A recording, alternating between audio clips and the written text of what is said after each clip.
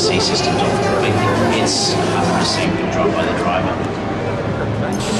From a concept, the interior of the new Emira is just as important as the exterior, making it really modern in feel, having touch the road. The whole package is tuned to give you maximum reward and confidence.